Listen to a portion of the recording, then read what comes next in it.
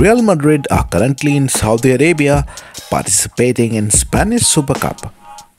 Ronaldo met Ancelotti and Roberto Carlos as their legendary striker. Ronaldo paid them a visit at Al Nassr training facility.